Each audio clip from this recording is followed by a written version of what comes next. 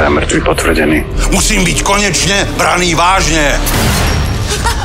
Únosca prekročil hranicu. Ostatní sú v poriadku.